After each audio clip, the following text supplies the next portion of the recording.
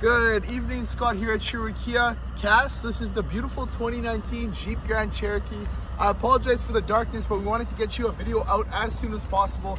This beautiful granite metallic 2019 Jeep just got here on the lot and it comes with the altitude package, which gives you the all blacked out rims, all blacked out grille. You're also gonna have a beautiful leather interior. That's gonna have heated seats, heated steering wheel. This has the eight speaker sound system sunroof and it's got everything. It even has your park assist systems, navigation, Uconnect, and coming to the rear, you got a power plugs back there. You also have plenty of space, WeatherTech mats all throughout. Cass, this thing is absolutely loaded.